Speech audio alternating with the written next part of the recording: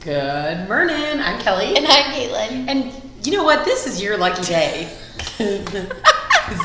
Caitlin's going to teach you how to make toast. We gotta start off somewhere. Here we go. It's March. This is a good thing to make in March. You should totally do it. She's going to make it avocado toast.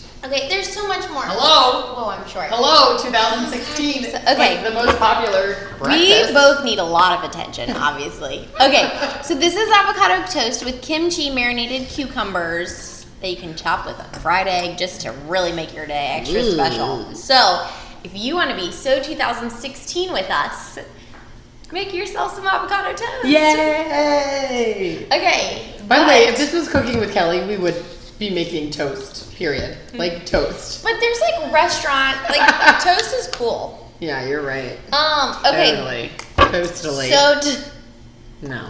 So this is Korean kimchi. It is essentially pickled cabbage, but it's spicy, and I love it for so many reasons because of well, there's so many flavors.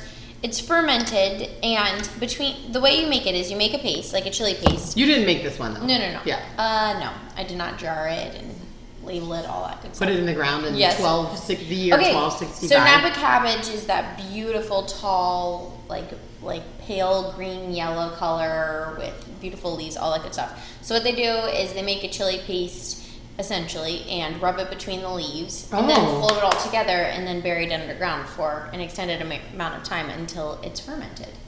And then it becomes kimchi. okay, so all these restaurants that have on their menu homemade kimchi. well, Do they have it can like under the canned. parking lot out front?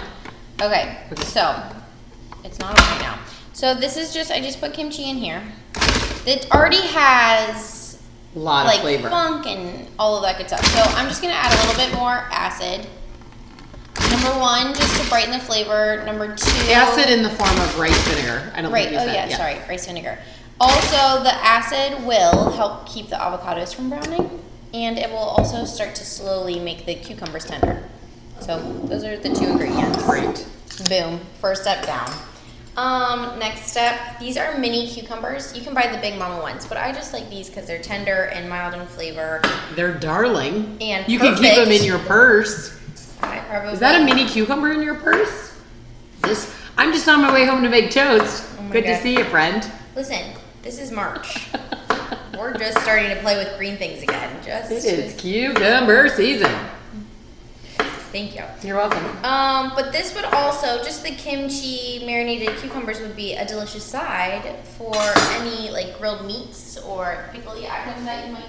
Spicy things? Would it help with Oh, spice sure. or not? Or is this in itself going to be kind of spicy? Not overwhelming. You can heat. choose your kimchi accordingly, right? Yes. I mean, there are very spicy options. Sorry, cucumber and the salt. That's a bad, Um. bad news. Okay, so then. Smells so fresh and so clean, clean. It actually is starting to smell like a Bed Bath and Beyond now that you've cut the. cucumbers. Cucumber. Oh. Sure, whatever you're. Yeah. Into. Okay. Would you recommend putting them on your eyes after you put the, marinate them in the kimchi? Okay. So then I'll just lightly season with salt and toss it together, Okay. and that's part one. Boy, this I know they're really wiggly. They're so- They're really wiggly. They're happy spring is sprung or springed or sprung too. Thank you. Okay. There's I'm that. Havana. Okay. I mean, how easy is that? So, when you were um, advocating serving this as a side, would you do it just like this, or like let it sit in the fridge, or all of the above?